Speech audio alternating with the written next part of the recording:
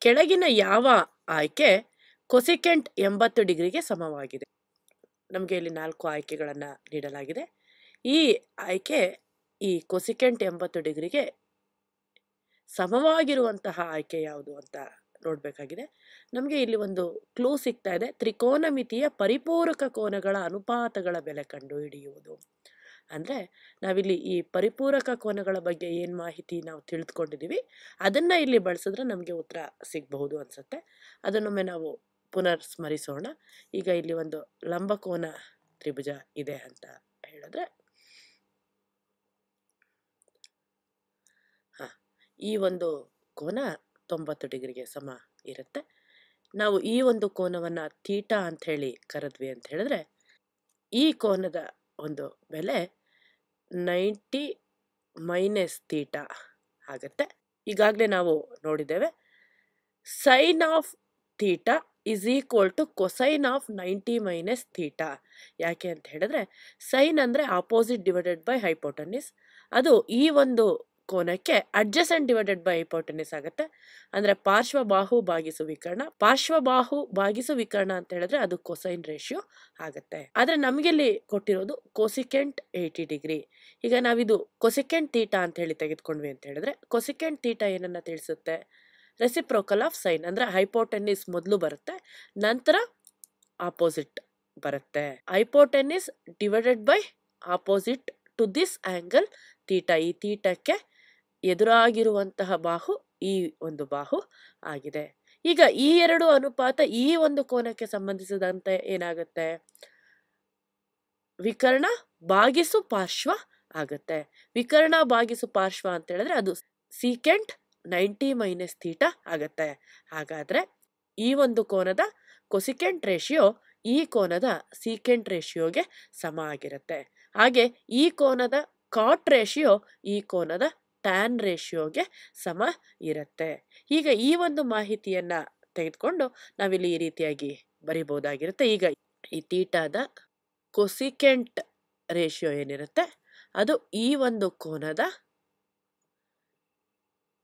Secant ರೇಷಿಯೋಗೆ ಸಮ ಆಗಿರುತ್ತೆ. ಅಂದರೆ ಇಲ್ಲಿ ಕೊಸಿಕೆಂಟ್ ಕೊಟ್ಟಿದ್ದಾರೆ. ಎಷ್ಟು ಅದು? ಕೊಸಿಕೆಂಟ್ ಎಂಬತ್ತು ಡಿಗ್ರಿ ಅನ್ನುವಂಥದ್ದು. ಸೀಕೆಂಟ್ ನೈಂಟಿ ಡಿಗ್ರಿ, ತೊಂಬತ್ತು ಡಿಗ್ರಿ ಮೈನಸ್ ತೀಟಾ ಅಂದರೆ ಇಲ್ಲಿ ಎಂಬತ್ತು ಡಿಗ್ರಿ ಆಯಿತು. ನೈಂಟಿ ಮೈನಸ್ ಏಯ್ಟಿ ಅಂತ ಹೇಳಿದ್ರೆ ತೊಂಬತ್ತು ಮೈನಸ್ ಎಂಬತ್ತು ಅಂತ ಹೇಳಿದ್ರೆ ಅದು ಸೀಕೆಂಟ್ ಹತ್ತು ಡಿಗ್ರಿಗೆ ಸಮ ಆಗಿದೆ. ಇಲ್ಲಿ ಯಾವ ಒಂದು ಆಪ್ಷನ್ ಸೀಕೆಂಟ್ ಹತ್ತು ಡಿಗ್ರಿಯನ್ನು ತೋರಿಸ್ತಾ ಇದೆ ಅಂತ ನೀವು ಗಮನಿಸಿದ್ರೆ ಅದು ಆಪ್ಷನ್ ಡಿ ಆಗಿದೆ. ಇಲ್ಲಿ ಸರಿಯಾದ ಒಂದು ಉತ್ತರ ಆಪ್ಷನ್ ಡಿ ಆಗತ್ತೆ. ಇದು ಸರಿಯಾದ ಉತ್ತರ ಆಗ್ತಾ ಇದೆ. ಈಗ ಮತ್ತೊಂದು ಸಮಸ್ಯೆಯನ್ನು ನೋಡೋಣ. ಆ, ನಾವು ತೆಗೆದುಕೊಳ್ತಾ ಇರುವಂತಹ ಪ್ರಶ್ನೆ ಈ ರೀತಿಯಾಗಿದೆ. ಕೊಸಿಕೆಂಟ್ ಎಪ್ಪತ್ತೈದು ಡಿಗ್ರಿ ಈಕ್ವಲ್ಸ್ ಸೀಕೆಂಟ್ ಎಕ್ಸ್ ಎಕ್ಸ್ನ ಯಾವ ಬೆಲೆ ಕೊಟ್ಟಿರುವ ಸಮೀಕರಣವನ್ನು ಸರಿಯಾಗಿಸುತ್ತದೆ? ಇಲ್ಲಿ ಈ ಕೊಟ್ಟಿರುವಂತಹ ಬೆಲೆಯಲ್ಲಿ ಯಾವ ಬೆಲೆಯನ್ನು ನಾವಿಲ್ಲಿ ಎಕ್ಸ್ಗೆ ತೆಗೆದುಕೊಂಡ್ರೆ ಎಕ್ಸ್ನ ಜಾಗದಲ್ಲಿ ಹಾಕಿದ್ವಿ ಅಂತ ಹೇಳಿದ್ರೆ, ಈ ಸಮೀಕರಣದ ಸಮತೆ ಉಳ್ಕೊಳ್ಳುತ್ತೆ. ಹಾಗಾದರೆ ಕೊಸಿಕೆಂಟ್ ಎಪ್ಪತ್ತೈದು ಡಿಗ್ರಿ ಅನ್ನುವುದು ಸೀಕೆಂಟ್ನ ಯಾವ ಕೋನಕ್ಕೆ ಸಮ ಇರುತ್ತೆ? ಮತ್ತೆ ನಾವು ಈ ಪರಿಪೂರಕ ಕೋನಗಳ ಮಾಹಿತಿಯನ್ನು ಬಳಸೋಣ. ನಮಗೆ ಈ ಆಲ್ರೆಡಿ ಈ ಹಿಂದಿನ ಒಂದು ಸಮಸ್ಯೆಯಲ್ಲಿ ನಾವು ನೋಡಿದ್ವಿ.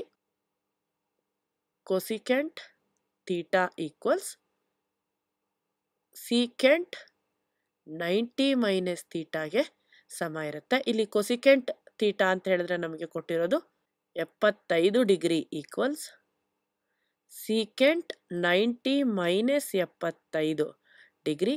ತೊಂಬತ್ತರಲ್ಲಿ ಎಪ್ಪತ್ತೈದನ್ನು ಕಳೆದ್ವಿ ಅಂತ ಹೇಳಿದ್ರೆ ನಮಗೆ ದೊರಕುವಂಥದ್ದು ಹದಿನೈದು. ಅಂದರೆ ಕೊಸಿಕೆಂಟ್ ಎಪ್ಪತ್ತೈದು ಡಿಗ್ರಿ ಅನ್ನುವುದು ಸೀಕೆಂಟ್ ಹದಿನೈದು ಡಿಗ್ರಿಗೆ ಸಮ ಇದೆ.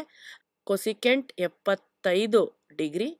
ಈ ಒಂದು ಜಾಗದಲ್ಲಿ ನಮಗೆ ಎಕ್ಸ್ ಇದೆ. ಹಾಗಾದರೆ ಎಕ್ಸ್ನ ಬೆಲೆ ನಮಗೆ ಏನು ದೊರಕ್ತಾ ಇದೆ ಅಂತ ನೋಡಿದ್ರೆ ಅದು ಹದಿನೈದು ಡಿಗ್ರಿ ಆಗಿದೆ. ಹಾಗಾದರೆ ಈ ಆಪ್ಷನ್ ಎ ಅನ್ನುವಂಥದ್ದು ಈ ಒಂದು ಪ್ರಶ್ನೆಯ ಉತ್ತರ ಆಗುತ್ತೆ. ಈಗ ನಾವು ಮುಂದಿನ ಪ್ರಶ್ನೆಯನ್ನು ನೋಡೋಣ. ಹಾಂ. ಈಗ ನಾನು ನೋಡ್ತಾ ಇರುವಂತಹ ಪ್ರಶ್ನೆ, ಕೆಳಗಿನ ಯಾವ ಬೆಲೆ ಕಾಸ್ ಒಂದು ಡಿಗ್ರಿಗೆ ಸಮವಾಗಿದೆ? ಈಗ ನಾವು ಈ ಹಿಂದೆ ಏನು ಪರಿಪೂರಕ ಕೋನಗಳ ಮಾಹಿತಿಯನ್ನು ಬಳಸಿದ್ವಿ, ಅದೇ ರೀತಿ ನೋಡಿದ್ವಿ ಅಂತ ಹೇಳಿದ್ರೆ cos theta is equal to sine ninety minus ತೀಟಾಗೆ ಸಮ ಇದೆ. ಇಲ್ಲಿ ಕಾಸ್ ಒಂದು ಡಿಗ್ರಿ ಅಂತ ಹೇಳಿದ್ರೆ ಅದು ಸೈನ್ ನೈಂಟಿ ಮೈನಸ್ ಒಂದು ಅಂತ ಹೇಳಿದ್ರೆ ಏಯ್ಟಿ ನೈನ್ ಡಿಗ್ರಿ, ಎಂಬತ್ತೊಂಬತ್ತು ಡಿಗ್ರಿಗೆ ಸಮ ಇರುತ್ತೆ. ಹಾಗಾದರೆ ಇಲ್ಲಿ ಯಾವ ಆಪ್ಷನ್ ಅದನ್ನು ಸೂಚಿಸ್ತಾ ಇದೆ ಅಂತ ನೋಡಿದ್ರೆ ಸೈನ್ ಎಂಬತ್ತೊಂಬತ್ತು ಡಿಗ್ರಿ ಆಪ್ಷನ್ ಎ ಏನಿದೆ, ಇದು ಈ ಒಂದು ಪ್ರಶ್ನೆಗೆ ಸರಿಯಾದ ಉತ್ತರ ಆಗಿದೆ. ಈ ಒಂದು ಪ್ರಶ್ನೆಗೆ ಸರಿಯಾದ ಉತ್ತರ ಆಗಿದೆ. ಈಗ ನಾವು ಮುಂದಿನ ಪ್ರಶ್ನೆಯನ್ನು ನೋಡೋಣ. ಇದು ಒಂದು ಕೊನೆಯ ಪ್ರಶ್ನೆಯನ್ನು ನಾವು ನೋಡ್ತಾ ಇದ್ದೇವೆ. ಕಾಟ್ ಮತ್ತು ಟ್ಯಾನ್ಗೆ ಸಂಬಂಧಿಸಿದಂತೆ ಕೋ ಟ್ಯಾಂಜೆಂಟ್ ಮತ್ತು ಟ್ಯಾಂಜೆಂಟ್ ಅನುಪಾತಗಳಿಗೆ ಸಂಬಂಧಿಸಿದಂತೆ ಕಾಟ್ ಇಪ್ಪತ್ತ್ಮೂರು ಡಿಗ್ರಿ ಈಕ್ವಲ್ಸ್ ಟ್ಯಾನ್ ಎಕ್ಸ್ ಆಯಿತು ಅಂತ ಹೇಳಿದ್ರೆ ಎಕ್ಸ್ನ ಯಾವ ಬೆಲೆ ಕೊಟ್ಟಿರುವ ಸಮೀಕರಣವನ್ನು ಸರಿಯಾಗಿಸುತ್ತದೆ? ಈ ಹಿಂದೆ ಇದೇ ರೀತಿಯ ಒಂದು ಪ್ರಶ್ನೆಯನ್ನು ನೋಡಿದ್ವಿ.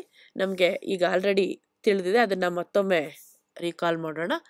ಕಾಟ್ ತೀಟಾ ಅನ್ನುವಂಥದ್ದು ಟ್ಯಾನ್ ನೈಂಟಿ ಮೈನಸ್ ತೀಟಾಗೆ ಸಮ ಆಗಿರುತ್ತೆ. ಇಲ್ಲಿ ಕಾಟ್ ತೀಟಾನ ಬೆಲೆ ಏನನ್ನ ಕೊಟ್ಟಿದ್ದಾರೆ ಅಂತ ಹೇಳಿದ್ರೆ ಅದು ಇಪ್ಪತ್ತ್ಮೂರು ಡಿಗ್ರಿ ಆಗಿದೆ. ಇದು ಟ್ಯಾನ್ ನೈಂಟಿ ಡಿಗ್ರಿ ಮೈನಸ್ ಇಪ್ಪತ್ತ್ಮೂರು ಡಿಗ್ರಿಗೆ ಸಮ ಇರುತ್ತೆ. Tan ninety minus twenty three ಅಂತ ಹೇಳಿದ್ರೆ ಅದು ಅರ್ ತೊಂಬತ್ತು ಮೈನಸ್ ಇಪ್ಪತ್ತ್ಮೂರು ಅಂತ ಹೇಳಿದ್ರೆ ಅದು ಅರವತ್ತೇಳು ಡಿಗ್ರಿ ಆಗಿದೆ. ಈ ಟ್ಯಾನ್ ಅರವತ್ತೇಳು ಡಿಗ್ರಿ ಅನ್ನೋದು ಕಾಟ್ ಇಪ್ಪತ್ತ್ಮೂರು ಡಿಗ್ರಿಗೆ ಸಮ ಆಗಿರುತ್ತೆ. ಇಲ್ಲಿ ನೀವು ನೋಡ್ಬೋದು ಕಾಟ್ ಇಪ್ಪತ್ತ್ಮೂರು ಡಿಗ್ರಿ ಅನ್ನೋದು ಟ್ಯಾನ್ ಎಕ್ಸ್ಗೆ ಸಮ ಇದೆ ಅಂತ ಹೇಳಿ ಇಲ್ಲಿ ಎಕ್ಸ್ನ ಜಾಗದಲ್ಲಿ ಇರುವಂತಹ ಬೆಲೆ ಅರವತ್ತೇಳು ಡಿಗ್ರಿ ಆಗಿದೆ. ಇಲ್ಲಿ ನೀವು ನೋಡ್ಬೋದು ಏಳು ಮೂರು ಹತ್ತು ದಶಕ ಒಂದು ಏಳು ಎರಡು ಒಂಬತ್ತು ತೊಂಬತ್ತು ಡಿಗ್ರಿ ಬರುತ್ತೆ. ಹಾಗಾಗಿ ಈ ಎಕ್ಸ್ನ ಬೆಲೆ ಅರವತ್ತೇಳು ಆಗಿದೆ. ಈ ಒಂದು ಪ್ರಶ್ನೆಯಲ್ಲಿ ಸರಿಯಾದ ಉತ್ತರ ಆಪ್ಷನ್ ಸಿ ಆಗಿದೆ. ಈ ಆಪ್ಷನ್ ಸಿ ಅನ್ನುವಂಥದ್ದು ಅರವತ್ತೇಳು ಡಿಗ್ರಿ ಅನ್ನುವಂಥದ್ದು ಎಕ್ಸ್ನ ಬೆಲೆ ಆಗಿದೆ. ಈ ರೀತಿ ತ್ರಿಕೋನಮಿತಿಯ ಪರಿಪೂರಕ ಕೋನಗಳ ಮೇಲಿನ ಪ್ರಶ್ನೆಗಳನ್ನು ನಾವು ಬಿಡಿಸಿದ್ವಿ.